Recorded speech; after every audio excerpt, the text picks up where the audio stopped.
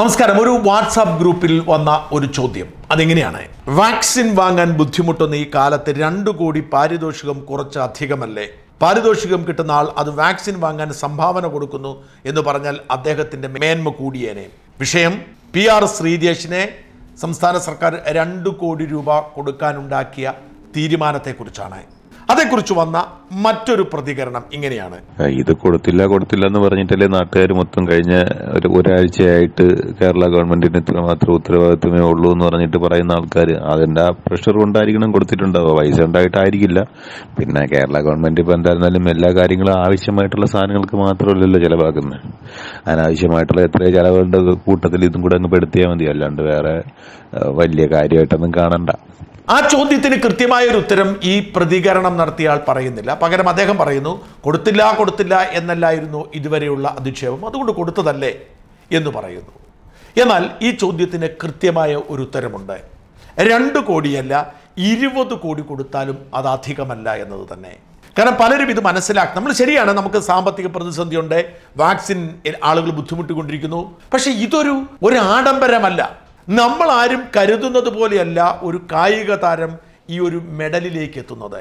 നമ്മളൊക്കെ നമുക്ക് തൊഴിൽ ചെയ്യുമ്പോഴും ബിസിനസ് ചെയ്യുമ്പോഴും ആനന്ദിക്കുമ്പോഴും ഒക്കെ ഇതിലൊന്നും ശ്രദ്ധ കൊടുക്കാതെ ജീവിതം മുഴുവൻ തന്നെ ഒരു പ്രത്യേക ഘട്ടം അവന്റെ ഏറ്റവും പ്രധാനപ്പെട്ട ഘട്ടം ഒരു എട്ട് പത്ത് വയസ്സ് മുതൽ ഒരു മുപ്പത്തിയഞ്ച് വയസ്സ് വരെയുള്ള ഒരു മനുഷ്യന്റെ ഏറ്റവും പ്രധാനപ്പെട്ട ജീവിതം മുഴുവൻ ഡെഡിക്കേറ്റ് ചെയ്ത് എല്ലാത്തിൽ നിന്നും മാറി നിന്നിട്ടാണ് മെഡൽ നേടുന്നത്.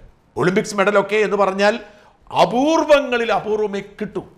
അതുകൊണ്ട് ഇപ്പോൾ ഒരാൾ ഒളിമ്പിക്സിൽ ഒരു മെഡൽ നേടുക എന്ന് പറഞ്ഞാൽ അവൻ എട്ടാം ക്ലാസ്സിലോ ഒൻപതാം ക്ലാസ്സിലോ തുടങ്ങുന്ന കഠിന സബരിയാണ്. കാലത്ത് നാലര അഞ്ചു മണിയാവുമ്പോൾ എണീറ്റ് ഒരു എട്ടര ഒൻപത് മണി വരെ ട്രെയിൻ ചെയ്യണം.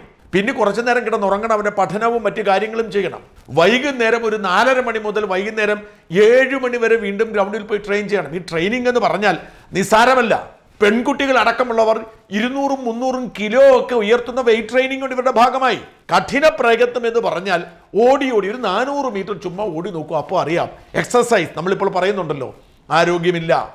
അതുകൊണ്ട് നമ്മൾ എക്സസൈസ് ചെയ്യണം. എത്ര പേർക്ക് ഒരു കിലോമീറ്റർ പതിയെ ഓടാൻ കഴിയും? പറ്റില്ല. ചത്താലും വേണ്ടുമില്ല ഞാൻ എന്നോട് പലരും പറയുന്നുണ്ട്. വൈകുന്നേരം ഓടാൻ ശ്രമിക്കും. ഒരു അഞ്ഞൂറ് മീറ്റർ ഒക്കെ ഓടിയിട്ട് പറയും "ഓ, ഇത് ഭേദം ചാവുന്നതാന്ന് പറയും. ചത്താലും വേണ്ടില്ല ഓടാൻ വയ്യ എന്ന് പറയും ഈ സാഹചര്യത്തിൽ ജീവിതത്തിലെ ഏറ്റവും പ്രധാനപ്പെട്ട ഘട്ടത്തിൽ വളരെയേറെ കഷ്ടപ്പെട്ട് ഓർക്കണം ഇതൊരു ലോട്ടറിയാണ്. ഇത്രയേറെ കഷ്ടപ്പെട്ടു പോകുന്നവർക്ക് ഒളിമ്പിക്സ് മെഡൽ കിട്ടുക എന്ന് പറയുന്നത് മഹാഭാഗ്യം എന്ന് കരുതുക. ഏഷ്യൻ ഗെയിംസിലെങ്കിലും ഒരു മെഡൽ കിട്ടിയാലേ അവർക്ക് എന്തെങ്കിലും സക്സസ് ഉള്ളൂ. ഇവർ അധ്വാനിക്കുന്നതിന്റെ ഫലം കിട്ടണമെങ്കിൽ ഏഷ്യൻ ഗെയിംസിനെങ്കിലും കിട്ടണം. എത്ര പേർക്ക് ഏഷ്യൻ ഗെയിംസിൽ മെഡൽ മേടിച്ചിട്ടുണ്ട്? അതായത് നമ്മൾ ഇത്രയേറെ കഷ്ടപ്പെട്ട് ഈ പറയുന്ന ഒരു കായിക താരം ഒരു ഒളിമ്പിക്സ് മെഡൽ പോട്ടെ ഏഷ്യൻ ഗെയിംസ് മെഡൽ നേടുന്നത് വരെയുള്ള കാലയളവിൽ ഡെഡിക്കേറ്റ് ചെയ്തിരിക്കുന്നത്രയും സമയവും അത്രയും കഷ്ടപ്പാടും. എന്നെ കേൾക്കുന്ന നിങ്ങളിൽ ആരെങ്കിലും മറ്റേതെങ്കിലും മേഖലയിൽ ഉപയോഗിച്ചാൽ നിങ്ങൾ അതിൽ മാസ്റ്ററായി മാറും. നിങ്ങൾക്ക് സ്വന്തം ബിസിനസ് തുടങ്ങി കോടികൾ സമ്പാദിക്കാം. അതായത് ഇത്രയും കഠിന പ്രയത്നം ഏത് മേഖലയിൽ ആര് ചെലവാക്കിയാലും അവർ കോടീശ്വരന്മാരാണ് കാരണം നമുക്ക് കഴിയില്ല. പക്ഷെ ഇവിടെ കഠിന പ്രയത്നം കൊണ്ട് മാത്രമേ നേട്ടം കൊയ്യാൻ കഴിയൂ എന്നതുകൊണ്ടാണ് ചെയ്യുന്നത്. അതുകൊണ്ട് തന്നെ ഒളിമ്പിക്സിൽ മെഡൽ നേടുന്നവർക്ക് കൊടുക്കുന്ന പാരിതോഷികം എത്രയായാലും കൂടുതലല്ല. മാത്രമല്ല ഇത് എത്ര ആളുകളെയാണ് ഉത്തേജിപ്പിക്കുന്നത് അറിയാമോ? ഒരാൾക്ക് ഒളിമ്പിക്സിന് മെഡൽ കിട്ടുന്നു മെഡൽ കിട്ടുമ്പോൾ രണ്ടു കോടി കിട്ടുന്നു എന്ന് പറയുമ്പോൾ കുറേ അധികം ആളുകൾക്ക് കൂടി കഷ്ടപ്പെട്ട് ഇത് ചെയ്യാനായിട്ടുള്ള ഒരു പ്രചോദനം ഉണ്ടാവും അപ്പോൾ അടുത്ത ചോദ്യം എന്താണ് ഈ മെഡൽ കിട്ടിയത് കൊണ്ടുള്ള നേട്ടമെന്ന്? അതാണ് വളരെ മനസ്സിലാക്കേണ്ടത്.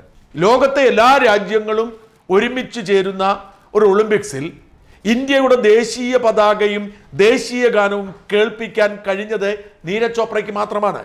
ഈ ഒളിമ്പിക്സിന്റെ ചരിത്രത്തിൽ എട്ടു തവണ ഹോക്കി ടീമും നീരജ് ചോപ്രയും അഭിനവ് ബിന്ദ്രയും മാത്രമാണ്. ഇന്ത്യൻ പതാക ഇന്ത്യ എന്ന പേര് വരിക ആ സ്റ്റേഡിയം നിശബ്ദമാകുന്നു സമ്മാനം കൊടുക്കുമ്പോൾ.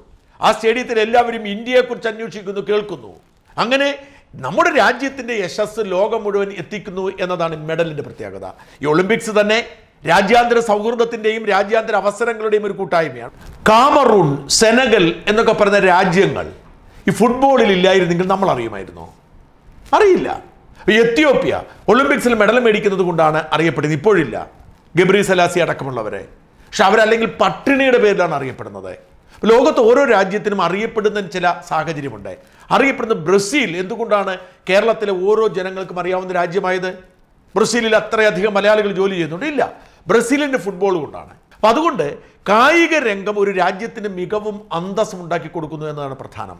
മാത്രമല്ല ഈ കായിക രംഗത്തേക്ക് ഇറങ്ങുന്ന ഒരു തലമുറ നല്ല കായിക താരങ്ങളുള്ള ഒരു യുവതലമുറ മാത്രമാണ് ആരോഗ്യമുള്ളവരായി ആരോഗ്യത്തിന്റെ അംബാസഡർ കൂടിയാണ് സ്പോർട്സ് താരങ്ങൾ എന്ന് പറയുന്നത്. അപ്പോൾ നിങ്ങൾ ഫിറ്റായിരിക്കുക നിങ്ങൾ ആരോഗ്യമുള്ളവരായിരിക്കുക എന്ന സന്ദേശമാണ് കൊടുക്കുന്നത്. അതുകൊണ്ടാണ് സ്പോർട്സിന് ഇത്രയും പ്രാധാന്യമുള്ളത്. ഇനി മറ്റൊരു കാര്യം കൂടി. ഇവർ സ്വന്തക്കാർക്കും ബന്ധക്കാർക്കും ഒക്കെ വാരിക്കോരി കൊടുക്കുന്നില്ലേ? ഒരു പാർട്ടിയുടെ പഴയ എം എൽ എക്ക് എം എൽ എയുടെ മകന് ജോലി എം എൽ എക്ക് കടം വീട്ടാൻ കാശ് അങ്ങനെ മരിക്കുന്നവർക്കൊക്കെ ഇവർ കൊടുക്കുന്നു. പോലീസുകാർ തല്ലിക്കൊന്നിട്ട് അവരുടെ കൊല്ലപ്പെട്ടവരുടെ വിധവകൾക്ക് ജോലിയും കാശും കൊടുക്കുന്നില്ലേ? അങ്ങനെ കോടിക്കണക്കിന് രൂപ ദൂർത്തടിക്കുന്ന ഒരു നാട്ടിൽ രണ്ടു കോടി രൂപ ഒളിമ്പിക്സിൽ മെഡൽ മേടിച്ച ഒരാൾക്ക് കൊടുത്തതിനാരും പരാതിപ്പെടരുത്. എനിക്ക് പിണറായി വിജയൻ സർക്കാരിന്റെ ഈ രണ്ടാം ഭരണത്തിൽ ഏറ്റവും നല്ല തീരുമാനമായി തോന്നിയതും ഏറ്റവും അഭിമാനം തോന്നിയതും ഈ രണ്ട് കോടി രൂപ ഞാൻ ഒരു കോടിയെങ്കിലും കൊടുക്കണമെന്ന് പറഞ്ഞിരുന്നു രണ്ട് കോടി കൊടുത്തു. ഏറ്റവും മികച്ച തീരുമാനം. എത്ര കോടി കൊടുത്താലും ശ്രീജേഷിനെ പോലൊരു കായിക താരത്തിന് അത് അധികമല്ല. അതൊന്നും ഈ കോവിഡിന്റെ പേരിൽ നമ്മൾ പരാതിപ്പെടരുത് സങ്കടപ്പെടരുത്. കാരണം ഇങ്ങനെ എത്രയോ പണം ദൂർത്തടിക്കുന്നു. രാഷ്ട്രീയക്കാർ എന്തിനെ കൊണ്ടുപോകുന്നു? ഈ മന്ത്രിമാരുടെ എം എൽ എമാരുടെ പെൻഷൻ വെട്ടിക്കുറയ്ക്കട്ടെ അവരുടെ ശമ്പളം വെട്ടിക്കുറയ്ക്കട്ടെ അവരുടെ ആഡംബരം വെട്ടിക്കുറയ്ക്കട്ടെ ജീവനക്കാരുടെ എണ്ണം വെട്ടിക്കുറയ്ക്കട്ടെ അവരുടെ പെൻഷനെ ഇല്ല അങ്ങനെ എന്തെല്ലാം വഴികളുണ്ട്? ഓർക്കണം കേരളത്തിന്റെ ചരിത്രത്തിൽ ഈ രണ്ട് ഹോക്കി വെങ്കല മെഡൽ മാത്രമാണുള്ളത് നമുക്ക്. നമുക്ക് പി ടി ഉഷ അടക്കമുള്ള താരങ്ങളുണ്ടായിട്ടൊരു ഒളിമ്പിക്സ് മെഡൽ കിട്ടിയിട്ടില്ല. അതുകൊണ്ട് ഈ അസഹിഷ്ണുത ഒഴിവാക്കുക.